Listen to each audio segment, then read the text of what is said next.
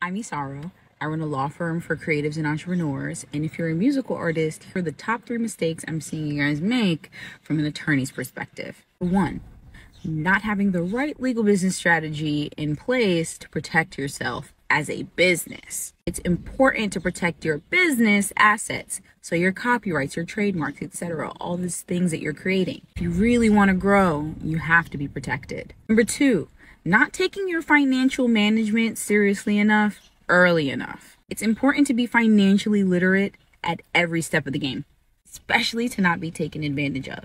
Do you know, like the back of your hand, your cash flow and your expenses? Do you have a proper tax management strategy? Do you know where to go to get a music industry expert for something like that?